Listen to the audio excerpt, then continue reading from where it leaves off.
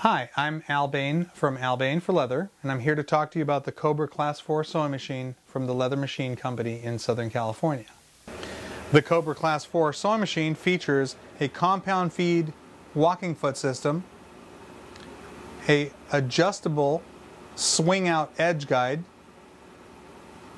a dual operated presser foot lifting system, one system by hand, and the other with the smaller of the two foot pedals.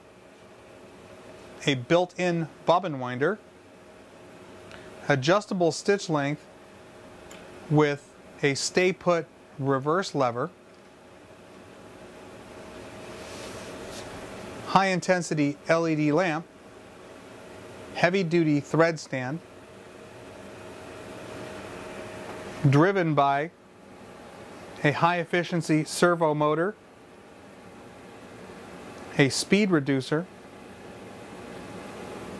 built on a 3 8 inch adjustable height table, all solid steel, two foot pedals, the large one for the motor control, the smaller for the presser foot lift mechanism, supported by four locking casters.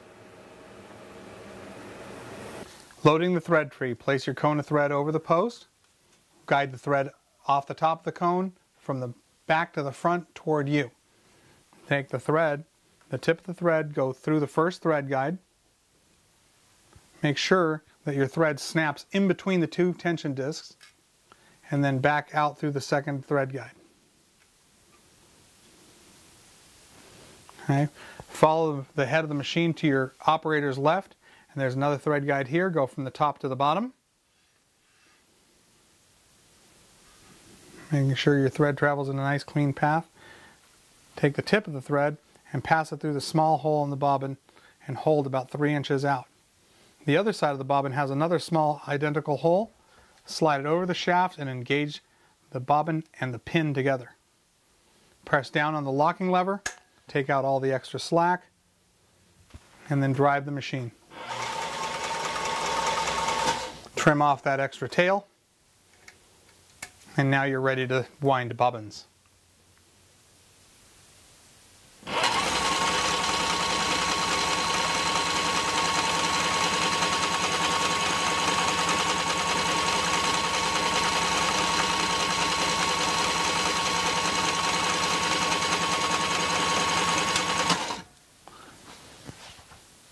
This lever popping up indicates that the bobbin is now full.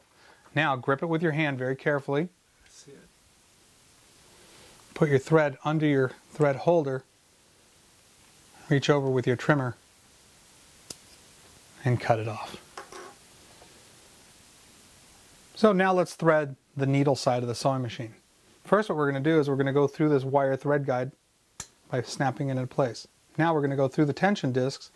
Key feature here, you have to snap it and hear it snap into place inside the tension discs. Okay come back around and through that original thread guide one more time.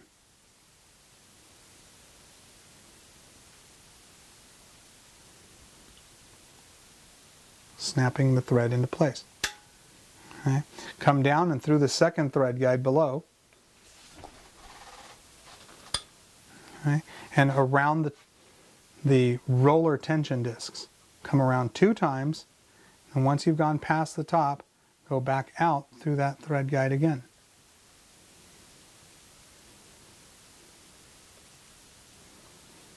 Okay. After the thread guide, go through the take-up spring. Then up to the take-up lever.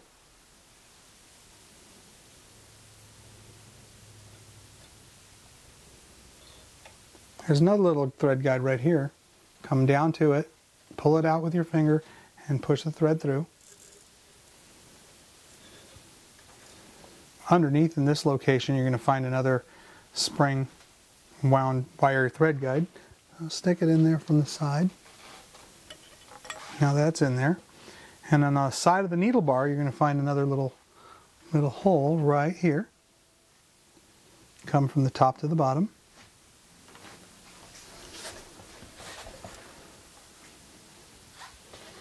okay, and then in to the needle.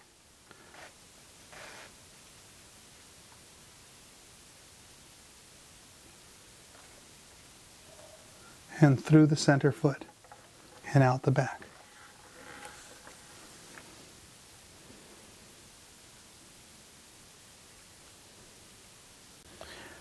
For the purpose of loading the bobbin into the machine, what we want to do is we want to cycle the machine so the needle is just barely penetrating the feed dog.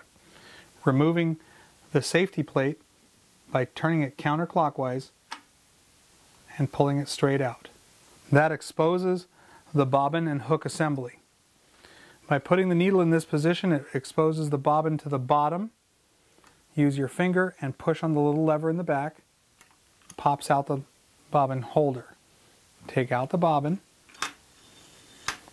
And to put it in, put in a new bobbin, what you want to do is ensure that it's paying out the thread in a counterclockwise direction. Put it back in the hole. In. You can see that it's going counterclockwise. Push it all the way in and slide that thread up through that groove underneath the spring and between the two little teeth.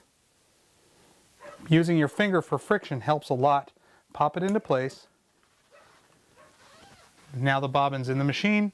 Hold your needle thread and cycle the machine one full revolution. This brings the needle thread and the bobbin thread up through the machine. Bring the bobbin thread out. Thread the presser foot out behind and to the left, to the right. And replace the protective cover.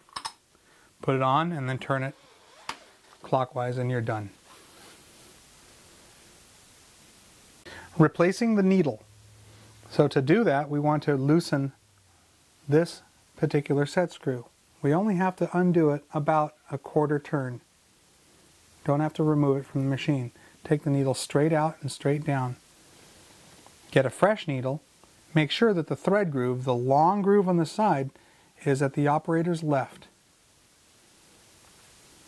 Push it up into the holder and make sure that it tops out. Ensure that the eye of the needle is going from the operator's left to the operator's right and then tighten down the set screw. Rethread your needle like normal from left to right and make sure that you get the thread through the inner presser foot out and back toward 1 o'clock. When you prepare to sew, you want to have the needle thread going through the inner foot, the bobbin thread coming out of the feed dog, and both threads going out and behind toward 1 o'clock. You want to hold them down and make sure that you're not pulling, but also a firm grip. Put the textiles in and use the release mechanism with your foot or with your hand to lower the presser feet. Using the edge guide, you can guide a nice straight line.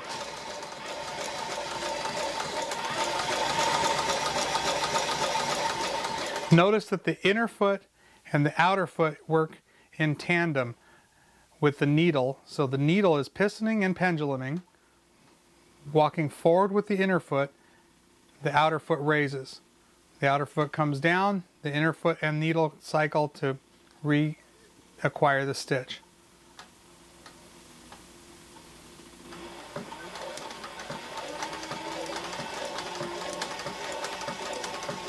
Stitching a straight line without a guide. We're going to load our textiles and if we want about a quarter inch from the edge, we're going to use the landmark on the edge of the foot. See where my thumb is touching the foot?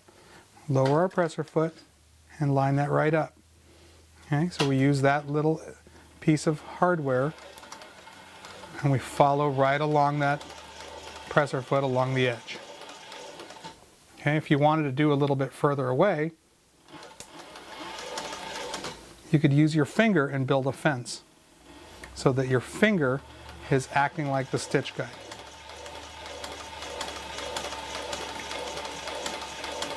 Either way, it takes a little practice, but you'll get the hang of it. Okay, so this is stitching on a curve. What we want to do, we want to load our textiles in the normal fashion, and as we approach our curve, we want to realize that we want to make the move into the turn with the presser foot, the inner presser foot in the down position. And so as we approach,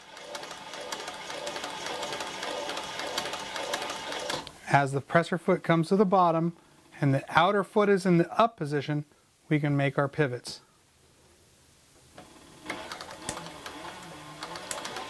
Pivot, pivot, pivot, pivot, pivot, pivot, pivot, pivot, pivot as the presser, the inner presser foot is down and the outer presser foot up.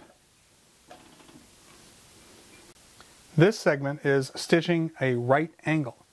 When we stitch a right angle, it's critical to make sure that the needle goes past the bottom dead center so that the needle is now rising about a quarter of, of an inch beyond the bottom dead center. So here we go.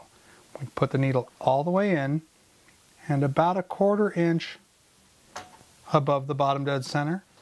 Use our lift system to raise the foot. Turn our textiles at that point, put the foot back down, and then continue sewing.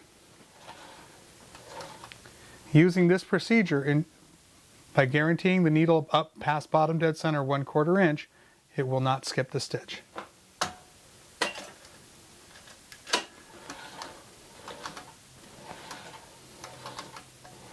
There you go.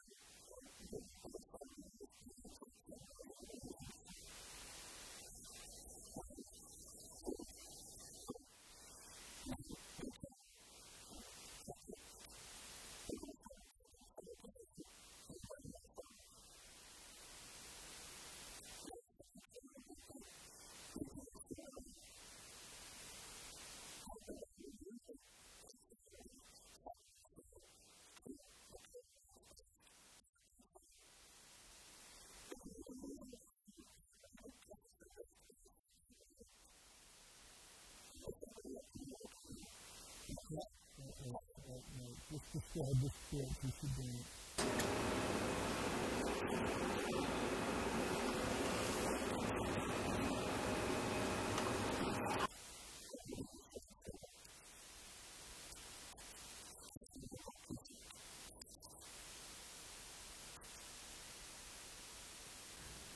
Changing the presser feet. To change the presser feet from one type to another, you would need to loosen the set screw on the outer foot, which would be on the left, and on the inner foot, which is on the operator's right. So simple loosen and remove of the screw on the outer foot.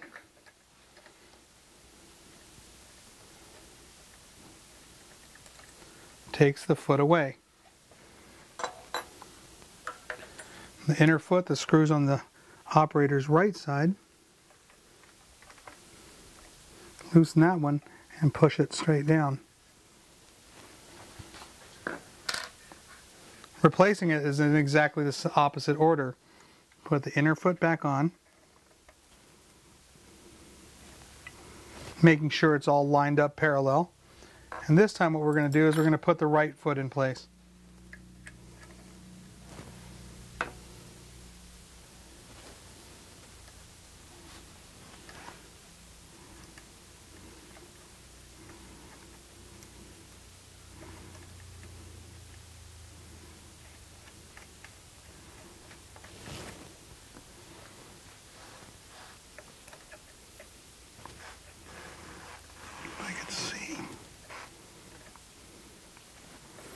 These don't have to be extremely tight, just about a quarter turn past snug. There are many combinations, a right foot, left foot, and a double prong foot blanket set, and a smooth feed dog and a toothed feed dog. The combination is up to you.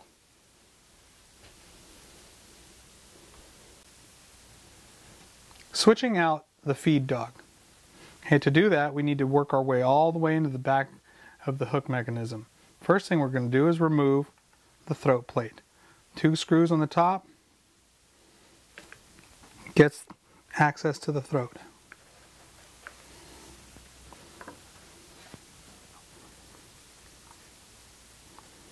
Take them out, lift the throat plate out of the way. Remove the protective cover by turning it counterclockwise and it exposes the hook. Two screws on the hook retention ring. These screws make note that they have a spring behind them and you don't want the spring falling off and bouncing on the floor.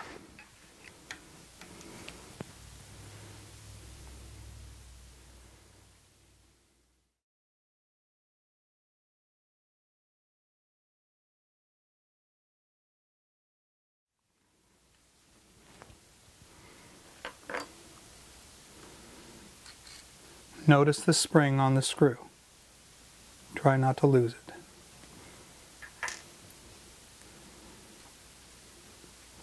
You have to hold everything together at this point, if not all the parts will fall out. So hold the bobbin in place, take the retention screw off, and notice how the bobbin case and the bobbin holder are sitting on top of the follower, and take it out as well.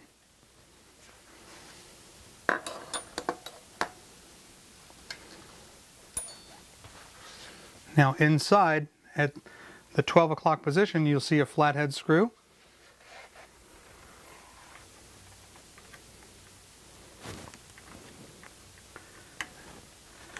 Loosen that one, removing it all the way.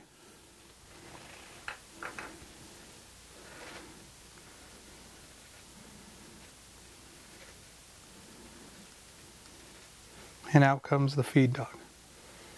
This one has serrations for sewing heavier textiles. And we're replacing it with the smooth face for when you're sewing finer leathers. Slide it in place into the little fitting there, put your screw back in, and tighten it down.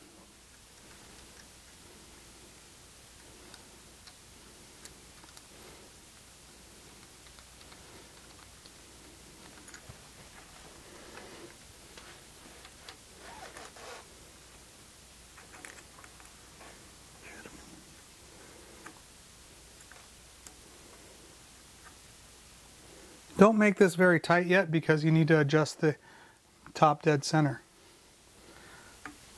I'll put it in, put the throat plate back.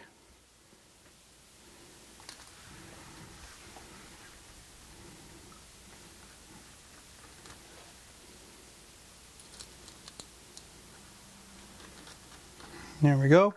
Tighten the screws up just slightly, past snug.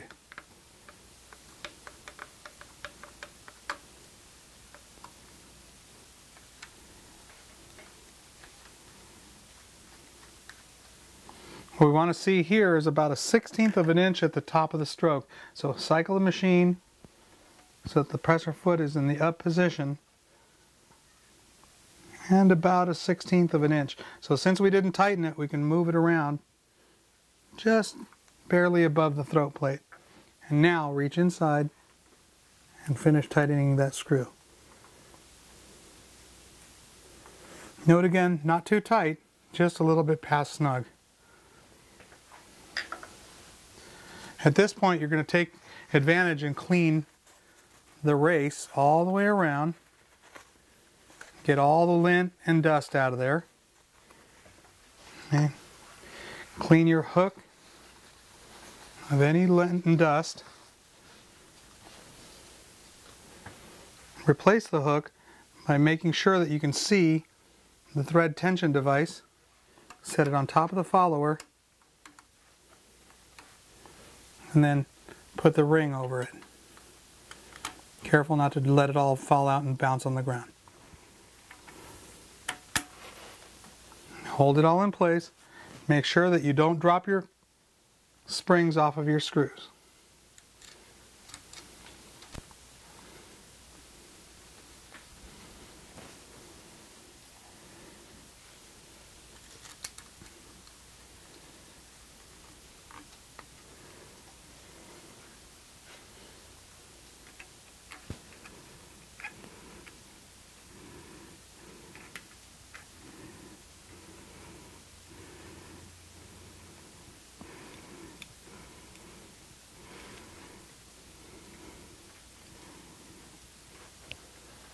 just a little bit past snug.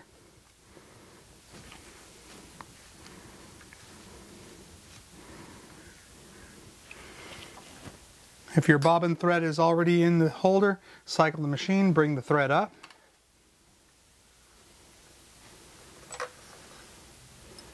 and replace the dust cap.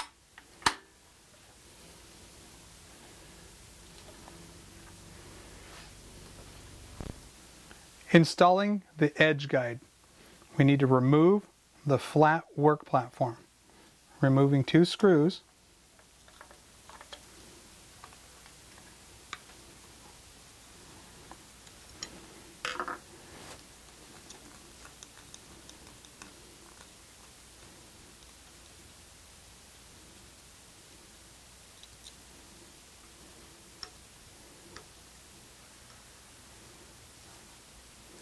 Take the platform away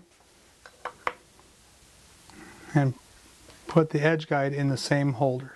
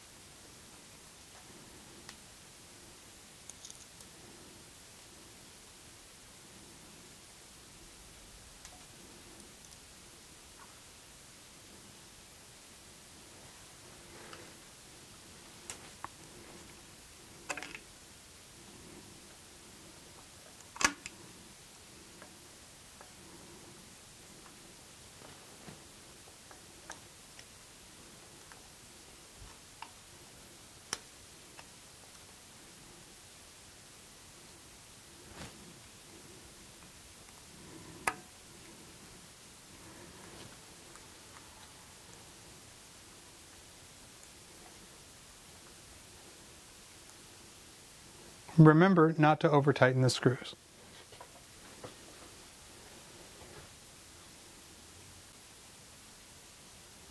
Lubricating inside the front of the machine. You're going to remove one screw, two screws, and pull the faceplate clean completely off the machine. Setting it to the side, you're going to find six oil points. Little drill holes that are going through the casting.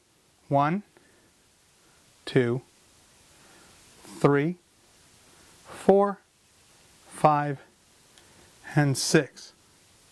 This one's on a cam, so it'll move around. You want to line it up so you can get to it. Not too much because the oil is going to drip out and get on your workpiece. When putting the cover plate back on, you want to engage this little hook onto this pin to make sure that the thread releases when you raise the presser foot.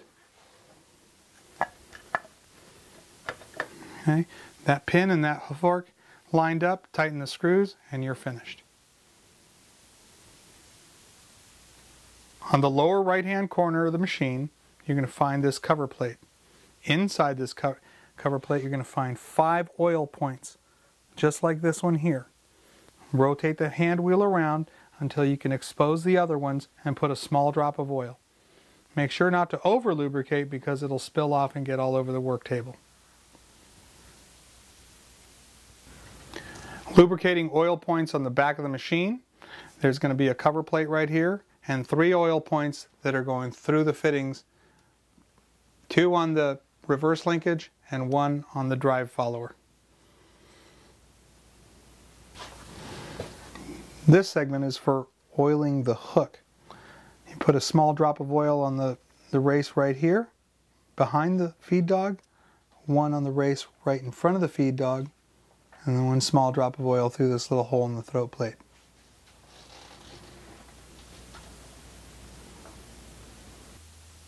Most of the oil points on the Cobra Class 4 are indicated in red. A small drop of oil in each of these points will keep your machine running smooth. Look for red point, small drop of oil every day. What we're going to do now is the bobbin winder friction disc adjustment. So the bobbin winder is mounted on the face of the machine with four screws. Remove all four screws. When taking out the last one, make sure that the bobbin winder doesn't fall off the machine because it will pull away and fall off. Inside the bobbin winder there's a, a round wheel and that's what drives the whole system. But it gets power off of this off this shaft and this particular friction disc. So as the wheel wears out, it makes less contact with the friction disc and then you need to move the friction disc toward the operator's right. To do that, you loosen two Allen screws, one at the top and one at the bottom, using a 3 millimeter Allen wrench and then push the wheel or the friction disc over to your right about a sixteenth of an inch at a time. It's easy if when you start out with a machine you make a little mark with a paint pencil or something so that you can use it as a position reference in the future. To put it back together, it's all exactly the same way but backwards. Put the winder back in place and then reinstall the four screws. Maintaining the appropriate tension on the drive belt. You should be able to squeeze it together somewhere about a half to three quarters of an inch. If it's any looser than that, you need to adjust the belt tension on the speed reducer which is located underneath the saw machine. To do that, we loosen this particular nut and push the drive wheel down and then tighten it back up. Very simple. Don't over tighten. Half inch to three quarters of an inch of, of compression on the belt. Adjusting the servo motor's speed. First thing you're going to do is notice that there's a display and it's spinning a little circle around and around. That indicates that the, pro, the motor is already programmed at a particular speed. When you want to adjust it, the first thing you're going to do is push the down arrow and hold it for three seconds. The display changes from spinning to 5.0. Push the, oops, it took too long. Okay, hold down the arrow for three seconds, 5.0. Push the up arrow until it says 5.3 push the down arrow, and then the bigger the number, the faster the motor will drive. The lower the number, the slower the top speed will be. Let it sit for about five seconds until it starts to wind again. Now, at this point, the motor speed is set. This is the presser foot slide adjustment. Okay, to adjust it, to raise the presser foot higher, you're going to use your 14 millimeter wrench, loosen the nut, and then slide down the banana slide lower. Lower on the banana slide raises the presser foot higher. Higher in the banana slide lowers the foot. So it will climb higher or lower depending on where you position it on the banana slide. When you receive your machine, it'll probably be somewhere in the middle because that tends to work for most people. Set it to where you like it and then finish it with a slight turn of your wrench and you're done.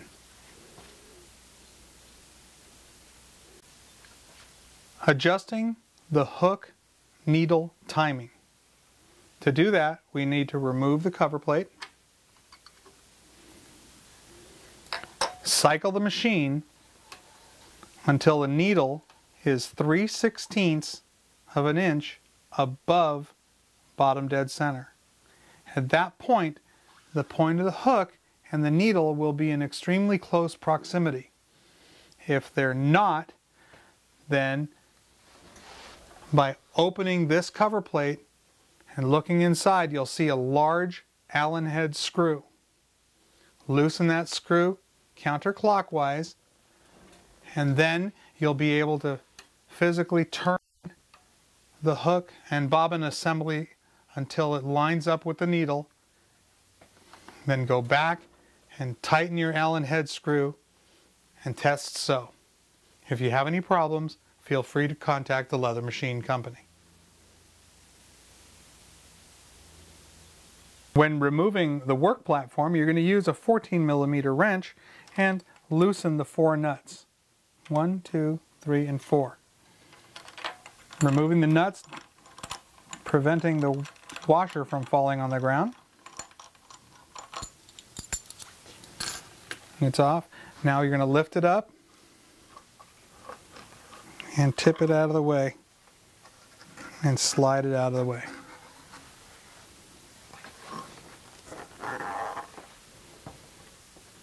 Exposing the cylinder arm. So installing the work platform. What we want to do is take these four washers and set them over the holes that are pre-drilled in the work table.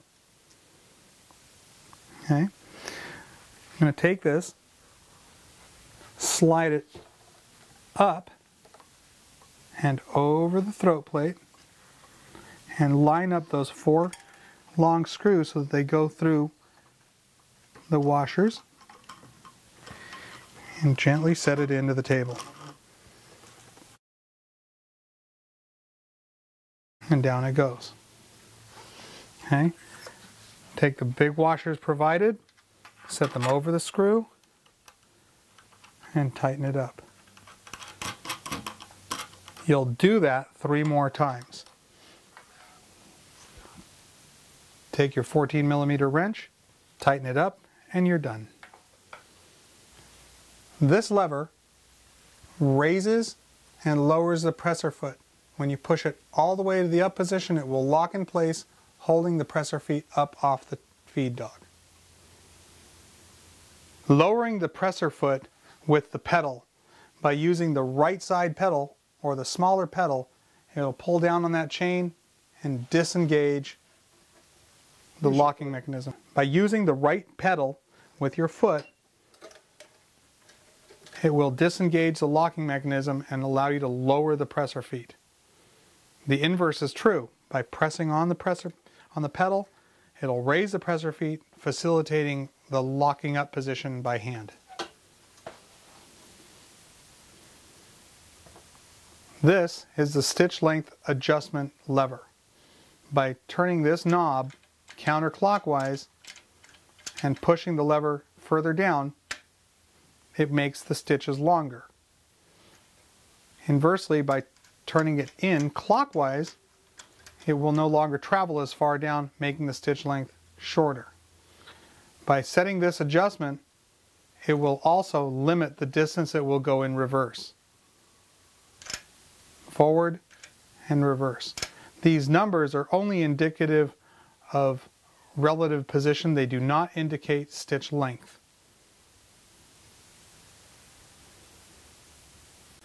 This segment is troubleshooting thread tension problem loops on top. The first thing you would want to look at is that you had properly fed the thread underneath the spring when you were loading the last bobbin. So the thread has to come under the spring and through that little groove right there. If it's found that that's in proper position, what you're going to do is loosen the friction discs and the roller guide one eighth of a turn each. Resew, testing, and if that didn't fix the problem, do it one more time, one eighth of a turn each. And if that doesn't fix it, please feel free to contact the Leather Machine Company. Diagnosing thread tension problems. Loops on the bottom. To repair the loops on the bottom, what you're going to do is tighten the friction tension and the roller tension one quarter turn. That's clockwise, one quarter turn each. Resew, see how it worked out. If that didn't work, do it one more time, resew, and if that doesn't solve your problem, feel free to contact the Leather Machine Company.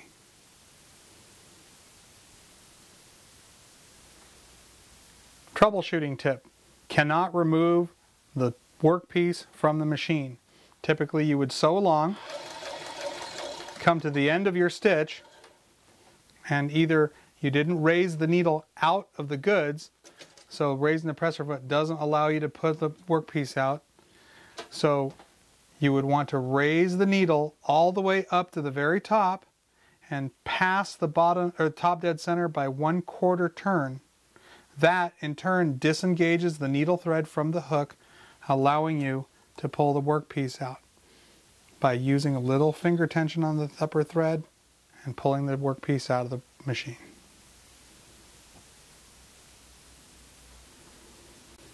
Troubleshooting tip, cannot remove the workpiece from the machine, would happen if you started sewing and forgot to hold the thread prior to stitching. What ends up happening is the needle and the bobbin thread get birds nested around the bobbin. So I recommend holding the thread down against the machine and to the right at about 1 o'clock for at least three stitches prior to letting go of the thread. Diagnosing why the machine won't feed the textiles. Either you may have inadvertently forgot to lower the presser feet. There could be a kink in the chain not allowing the presser feet to come all the way down. Or you may have inadvertently left the stitch length adjuster near the zero position. So the solution would be to push it all the way into the sewing position, either in the forward